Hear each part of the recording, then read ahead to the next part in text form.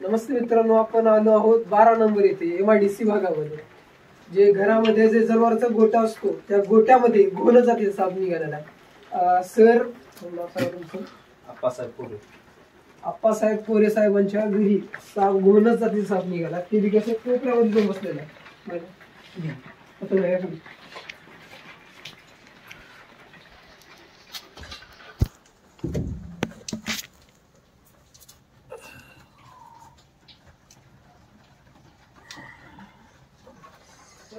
घोरच बसलेला आहे त्या सापाला आपण ह्या अडचणीमधून काढूया आधी.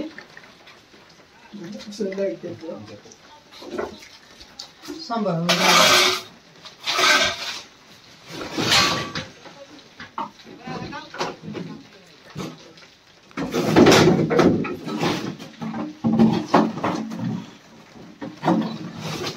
बाहेर सर नाही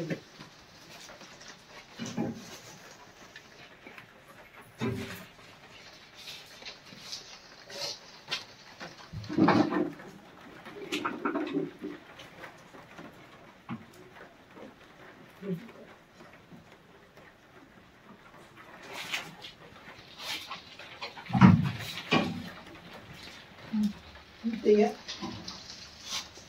थोडं बाहेर सर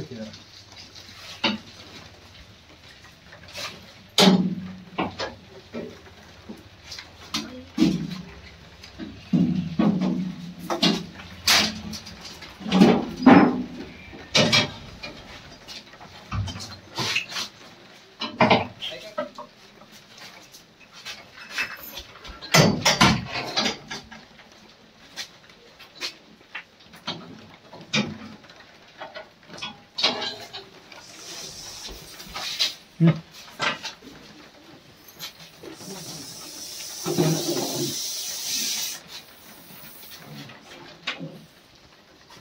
जरा जरा शांत बोनस जरा बाहेर करा की.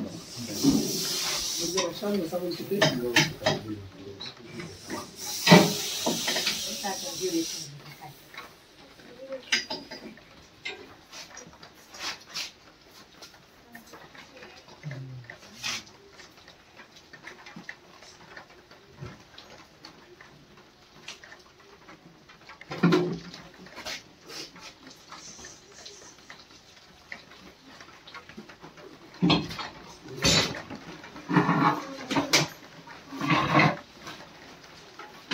आता तुम्ही थोड्या वेळ आधी पाहिले त्या भरणीला बघा हालचालीवर गोनस म्हणजे ना? सापानं सावायचा प्रयत्न केलाय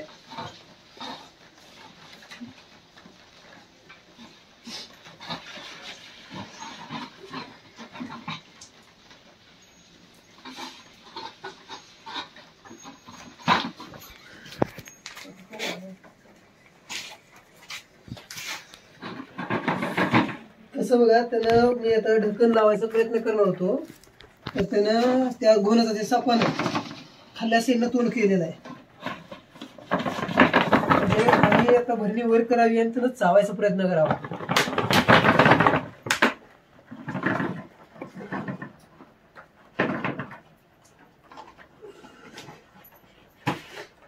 असं आपण आपण रेस्क्यू केलेला आहे. तर हिवाळीचे दिवस आहेत मित्रांनो. सर्वच ठिकाणी घोणा जातील साप जास्त प्रमाणात निघत आहेत तर तुम्ही कृपया आपल्या घरामध्ये साफसफाईचं प्रमाण जास्त राहू द्या कारण असं जिथं अडचण असते त्या ठिकाणी गरमी घटणार. आणि त्या गरमीसाठी साप येणार घरामध्ये. कारण हे थंड रक्ताचे जीव असल्यानं गरमीसाठी आपल्या मानवी वस्तीमध्ये सर्वात जास्त प्रमाणात आढळून येणार. तर अजून एक विनंती सर्वांना आपण जे साप रेस्क्यू केलेला आहे त्या सापाला ओळखायला शिका. कारण की मोस्टली लोकांना जाती माहीत नसल्यानं जास्त प्रमाणात बाईट होत जातो. कारण हा जवळजवळ दिसायला आजगरासारखा दिसतो.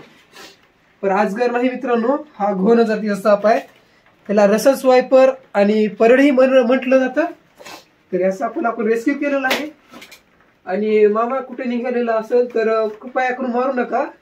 आणि जवळची कोणीही सर्प मित्र मी यासोबत होलसेल कुठं असतील त्यांना तुम्ही बोलून घेत जा. हो हो.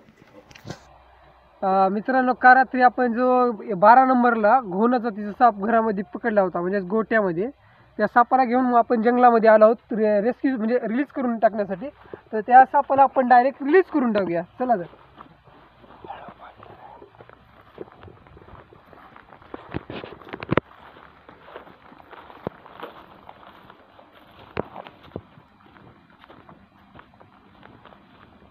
basta guys